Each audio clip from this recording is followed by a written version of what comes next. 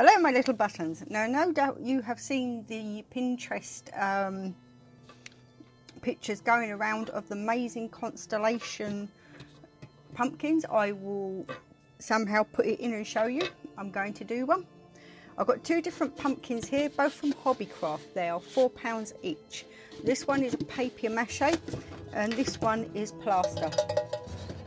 They're both absolutely cracking. I'm going to do two different things with them. Uh, I think this project is going to take an amount of hours. What you need for this project, glue, glue, pumpkin riot going on, paint, paint,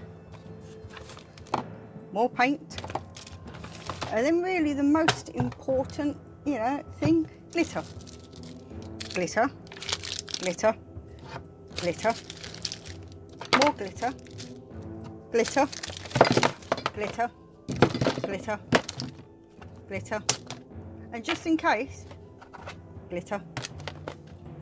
Let's get on with it. Two other things I forgot to mention you need.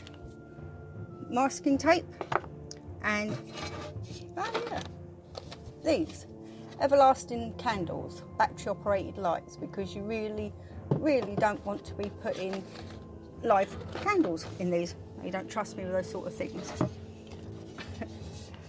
Start with this one first.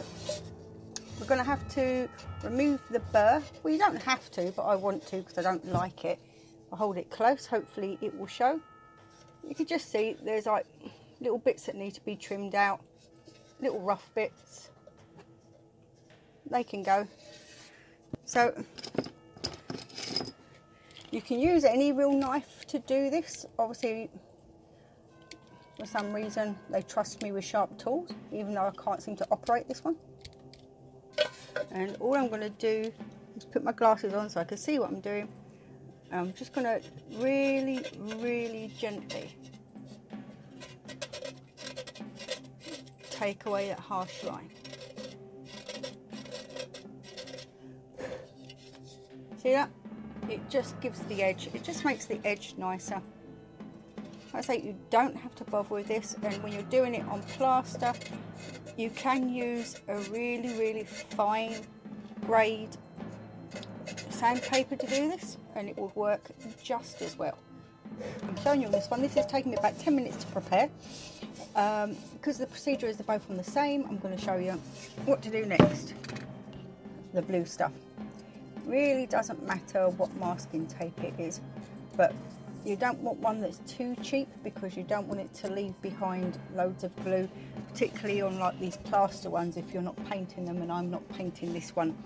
Well, I am, but not fully. So now it's just a case of sealing the eyes over and press down pretty hard around the edge because I don't want paint to seep through and come down the outside.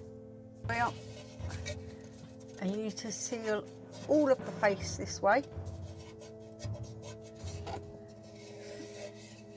But leave the back open.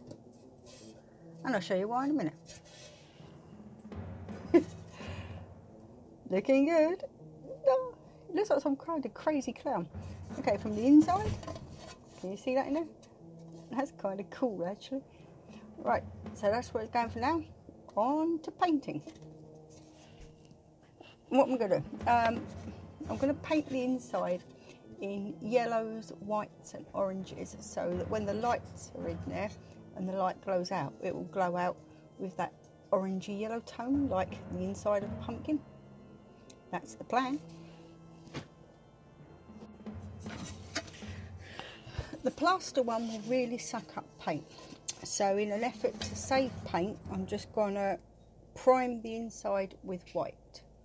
That's it, all over just with white. I know that may sound ridiculous, but it will just help your coloured paints go further. And seeing as they're usually the more expensive ones, better to save yourself some money. You can be a bit slapdash about this. Just try and make sure that it all entirely gets covered.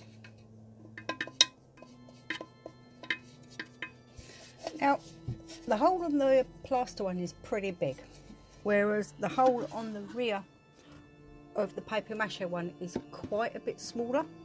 So on this one, I've been able to manage to paint this back wall um, through this hole.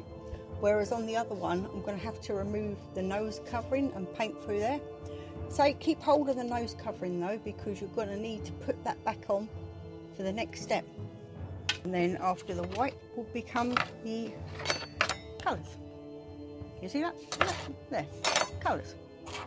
Looks like I'm lining up for a Ruby Murray, okay? Colours. It's going to be quite hard to show you this next bit in any great detail, but I've got a pot of orange, a very pastel orange, so I'm going to go in there and paint a smidgen of it. Hoping, let me get that right, yeah, you can just about see that. And then I'm going to go in the yellow pot, and then just next it, paint yellow on, just so they start to smudge together. Yep, pretty hard to show you that. And that's how I'm going to do it, mottled throughout the whole thing, just so it changes the quality of the light when they're inside and flickering. Don't worry if you get a little bit on the outside on these plaster ones, it's really easy. But I've got a little bit there, just wipe it off. And then when it's dry, dry, a little bit of sandpaper, off it comes and you're back to perfect. That's going to take about 10 minutes to dry. So I'm going to leave that to dry and then I'm going to jiffy up this one. These are going to be the colours for the inside of this one. I've just made masking tape colour. Yay, go me. Okay. I say that too much. Why do I keep saying that? I've finished the insides on both. I hope you can see that the difference in the colours. This one's going to be much harder to see because it's a much smaller gap, but I'm not worried about the bit of paint on the outside on that one because it's going to be a much darker colour on the outside. No, nope, you really can't see it. Now the whole reason that I've done it that way is the next step is glitter is going to go all over the inside and when you put it onto a different colour background it will reflect out a different colour because it is just like you know the white glitters now if you want to see this effect really well go to Simply Nailogical's channel she does some amazing glitter videos on nails and stuff and you'll soon see how you know the colour of glitter changes depending on what colour background it is so when these have the lights in and they're flickering depending on what on where you are seeing it from, you'll see different colours flickering out. That's the plan. In here so far is PVA glitter and a very, very fine dust, glitter dust called Violet Light. I'm going to add to it some Glamour Dust in crystal.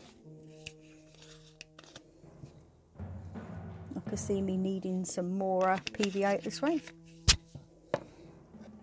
That's a very fine white coloured one with a slight gold undersheen. And here I have some more Glamour Dust and this is Gold Glitz. I'm only putting a very, very small amount of the gold in because I really don't want it to overpower anything. This is actually a glue. It doesn't matter, it's still in a PVA base. Come on now. Blotch. Oh dear. Oh, come on now. That's unfair. Ooh. Sexy. Right. And to this, I'm going to add this. Now, I don't know what this is meant to be. Oh, some kind of angel bottle dust charm. I got it from the works but it is amazing glitter and I've used it on quite a few projects. It has a real bluey pink green undertone to it. It's just phenomenal. It's pretty much translucent, so it just looks fantastic. Now, from the works also, I got this little set. There's a couple in here that we're going for. I'm going to use some of the yellow because we used yellow on the inside so it will just help bring that colour out a bit more. As you can see I'm not using a lot. I'm going to use some of the white just because it's a different size and colour. Something's moving. I'm going to use just a little bit of this silver hologram because it's just astounding. Oh, that looks good. That's like all my deepest desires for a bath coming true. Then I am going to use some of this. Um, this is Hobby Hobbycraft, just pure white glitter, just to give it a pure white sheen. Extra sparkles. Right. Then we have, again from think this is the works. Glitter glue. Just a real nice one a real kind of iridescent. Stick a bit more of that in.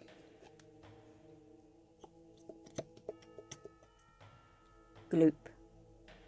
Boink Ugh, that's so pretty. And then just this real amazing fine grade um, glitter. It's kind of flaky glitter they call it, so it's got all different sizes, predominantly silver, but because the rest of it's white, you can take a little bit of it.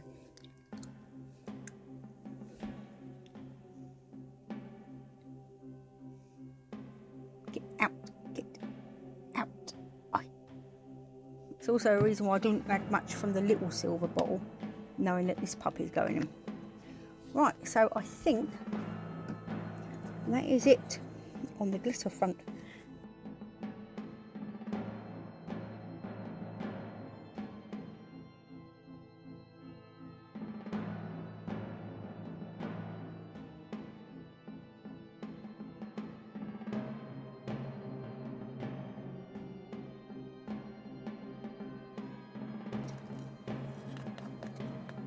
I'm going to use this whole pot on the inside because I want it super glittery. Get the pumpkin. Get brush. Get paint. Inhale. That's it. And what I suggest you do is put on a good movie. I've got Infinity War on. And continue. And it's now time to mix the glitter for the blue one. So, same procedure as before and because it's darker I'm going to use an array of different colours but I'm still going to keep a lot of the pinks and purples in there. So we're going to start off with some of this I do love this. This is the violet flake.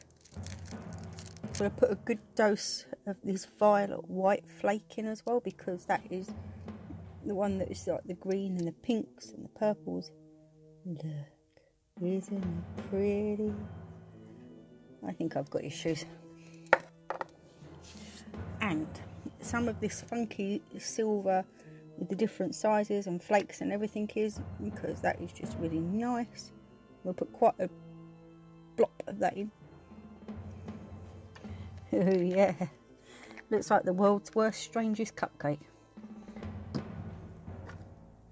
Now what we're going to throw in, going to some more of this silver as well different sizes, different sparkles. And then back into these little bottles.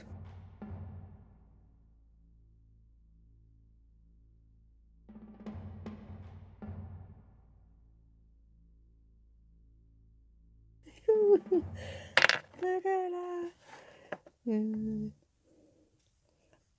Oh.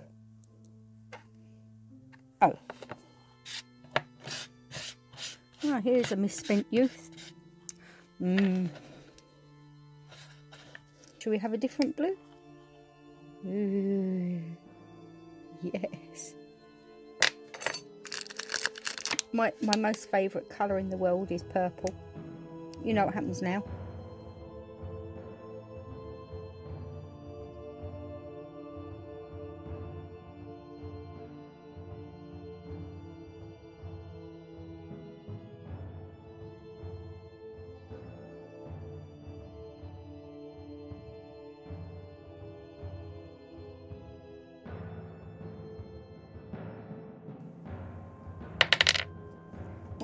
What'd you say? I think we should. Be rude not to. I mean, these are galaxy colours, aren't they? There's one in the pack that we've not used, and that's pink. Why not? Just stick, just stick it in there. Right, there we go. That's some of that. Should we stick some yellow in there?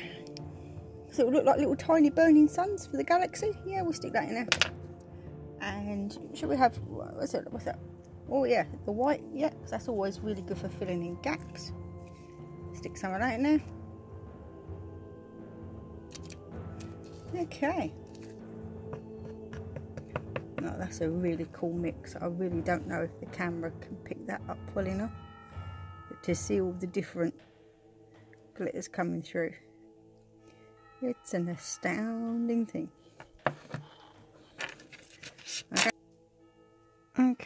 That's the inside. Shiny, shiny, shiny. You want to make sure when you're doing the glittering that you get as much as you can on the back wall away from the face because obviously that's where you're going to see most of the sparkles coming through. You won't see the ones that are on the face itself. So we have orange ready mix paint. We have purple ready mix paint. mix the paint to make it a bit smoother, a bit more fluid. I also got the spoon to help stir and drop. I may or may not have got this spoon from a rather excellent coffee chain I frequent a lot. Don't hate me, your spoons are very useful. A water paint so I can just mix it with water. Oh here, that's a better. See, just a better flow consistency. I'm going to put it back over this bit because obviously I scraped the paint off. I don't want it to look like it.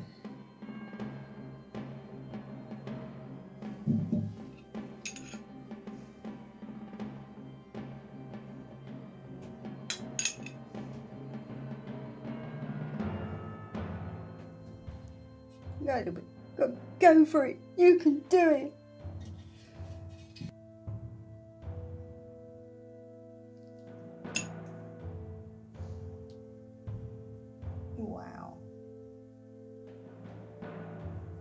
Is actually working out pretty well.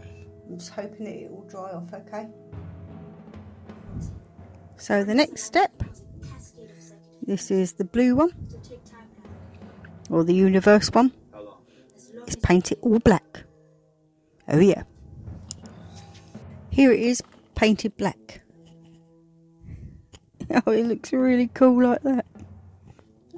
We've got to uh, do the galaxy, but that needs to really dry. So I'm going to leave that to dry overnight now. Okay, now it comes time to start drawing the um, galaxies onto it. These are the range of the paints I'm going to use. That's going to be for most of the nebulas. Going to be for making the stars and highlights. I'm actually worrying that the blue and the purple isn't showing up enough against the black. So I think I'm going to mix a little bit of white in with both of them just to give them that bit more of a lift. Mixing some white in definitely works better. So I'm putting down the whitened base first and then putting the darker colours over the top to give it some contrast. I've also given up using sponges, it just wasn't working. Instead I've gone for a really stiff brush. That looks so cool. Yeah and now it's just a case of spotting it on as you like it. Okay, so here is all the colour coats done. Now I am going to draw on all the different constellations and individual stars everywhere. I've got a little mix of yellows for the stars. I'm also going to dot bits of red in as well because see the different colours of stars. I did toy with a black hole, I think I'm going a bit far there. I have painted on some of the basic constellations that I want to show and lined them already. Now I'm going to give it a smattering of stars all over the place. So the three painters that I had earlier on, I've just mixed together with a little bit of extra white and some water. As you can see, it's fairly fluid. Toothbrush for this next bit.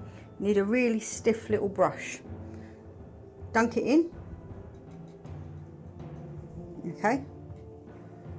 And then you're going to go like that. And it will flicker paint everywhere. Do you see that? It's worth just having a little bash first, just to get used to it, and then dive in. Oh yeah. I find it best to just give it a little flick first. Let's get rid of the bulk, and then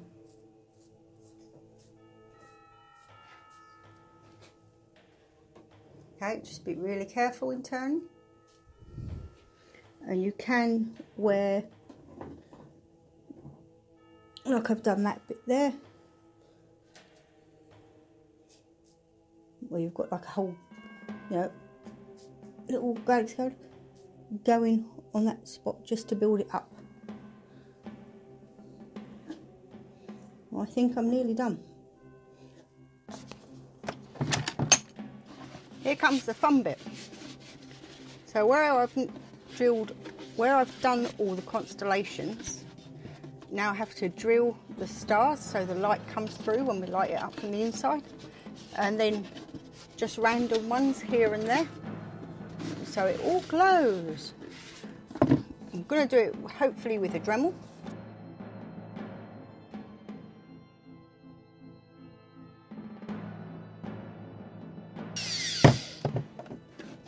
that is all the constellations I've put on drilled out. It's really cool when you look through the inside. How cool is that? Right, now what I'm going to do is just randomly drill holes of all different sizes all over just to make it pretty. I think I might paint around the holes again with a little bit of yellow once I'm done because where I've gone through I've taken it all off. So I think once I'm done, I'm going to paint with a little yellow and glitter because glitter.